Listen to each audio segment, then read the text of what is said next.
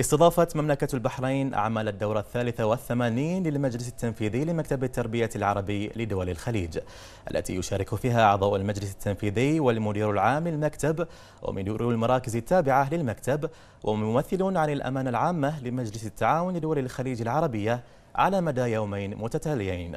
وافتتح الدورة الدكتور راشد الغياض وكيل وزارة التربية والتعليم بالمملكة العربية السعودية أمين عام إدارة التعليم رئيس المجلس التنفيذي لمكتب التربية العربي بكلمة قدم فيها الشكر لمملكة البحرين حكومة وشعبا على الاستضافة الكريمة لاجتماع المجلس. كما أكد على أهمية مضاعفة الجهود لتحقيق المزيد من التنسيق والتكامل وبما يؤدي إلى تحقيق تطوير نوعي للتعليم في دول المكتب ويحقق تطلعات قياداتنا وشعوبنا ويعين على سرعة تنفيذ برامج الخطة الاستراتيجية للمكتب التي تعتبر خارطة الطريق لعمل المكتب وأجهزته.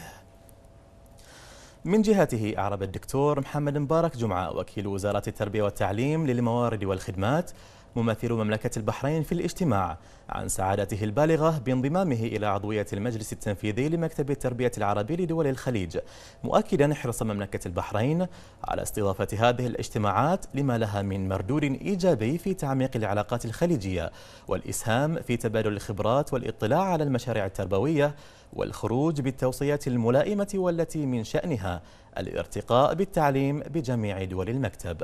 وبمناسبة عقد هذا الاجتماع بمملكة البحرين استقبل سعادة الدكتور ماجد بن علي النعيمي وزير التربية والتعليم بمكتبه أعضاء المجلس التنفيذي لمكتب التربية العربي لدول الخليج حيث اطلع على أبرز الموضوعات المدرجة على جدول أعمال اجتماعهم الأخير معربا عن ترحيب مملكة البحرين باستضافة هذا الاجتماع ودعمها التام لجهود وتعزيز العمل التربوي المشترك على المستويين الخليجي والعربي.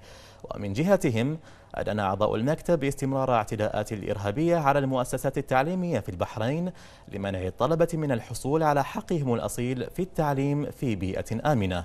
واصفين إياها بالأعمال المشينة التي تتعارض مع جميع المواثيق الدولية والأعراف الإنسانية.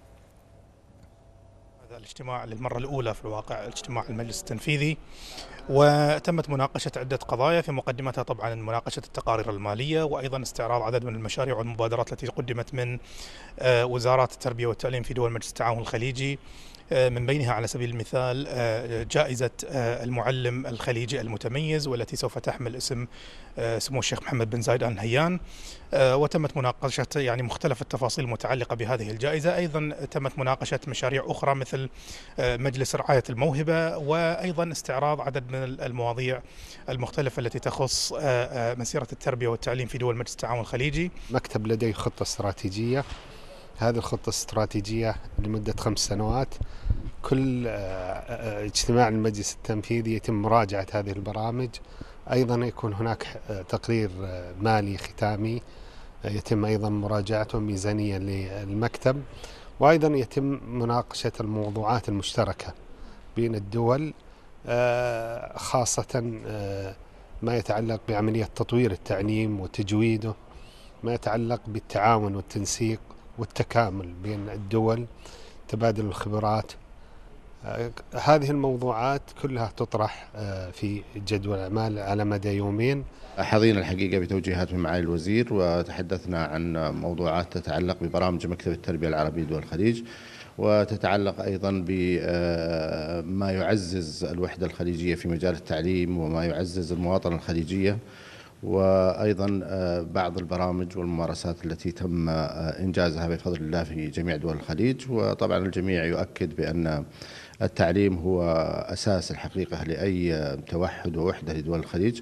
وسنعمل إن شاء الله كلنا في دولنا في دول الخليج على ترسيخ المواطنة الخليجية وعلى القيم المطلوبة لهذا التعاون والتعاضد الذي آه، نعتز ونفتخر به في جميع دول الخليج.